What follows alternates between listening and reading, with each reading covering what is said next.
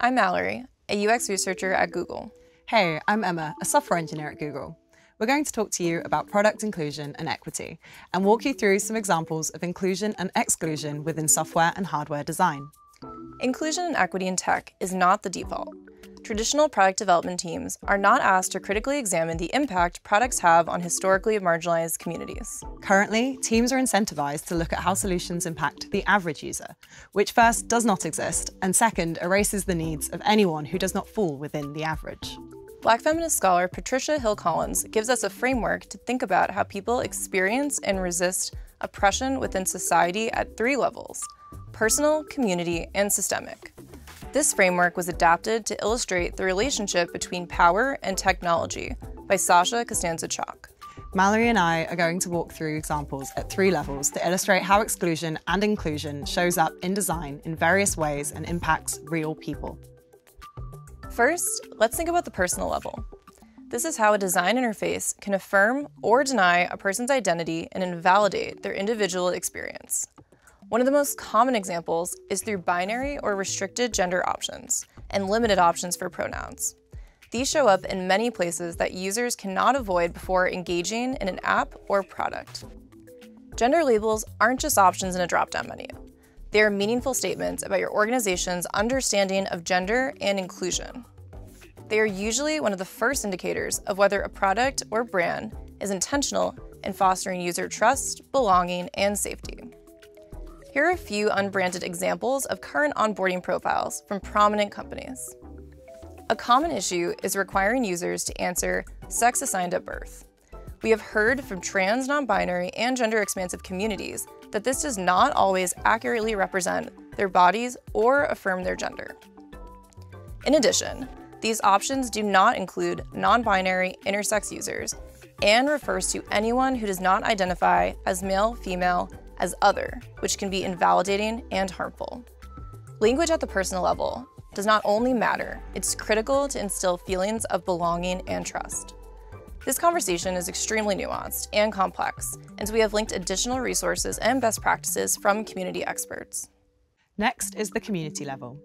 Wearable tech defaults to being more bulky, heavier, and sized for larger wrists. Many with smaller wrists, people with mobility issues, or nerve weakness do not find these characteristics approachable, comfortable, or accessible. These are insights and considerations that went into the design of the Pixel Watch. The way a product is designed can elevate certain communities, while suppressing or excluding others from participation.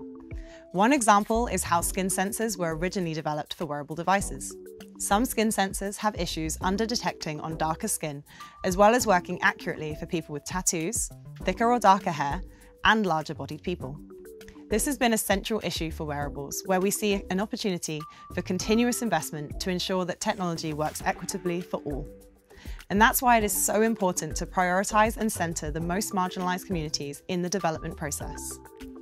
These issues can further reproduce social systems, for example, fitness tracking can now be used to lower insurance premiums, and that can create barriers for certain communities by causing higher premiums or a lack of benefits. And this is an example of how a community level issue can become a systemic one. This leads to our final topic, the systemic level. The way products are designed can reproduce or challenge social hierarchies and systems.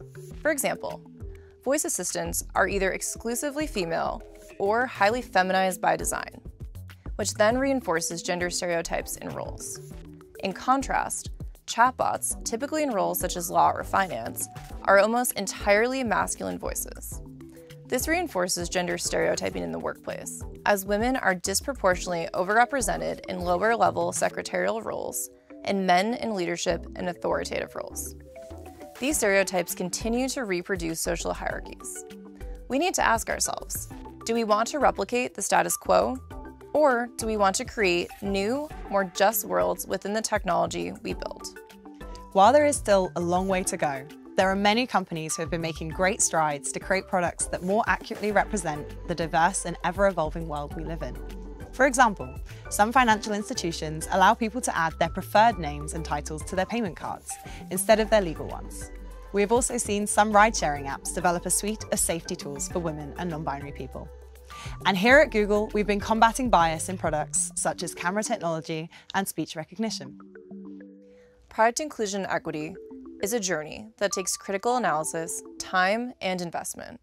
It's important to acknowledge the power technology has in challenging bias at the personal level, barriers at the community level, and reproducing systems many of us are actively fighting to combat.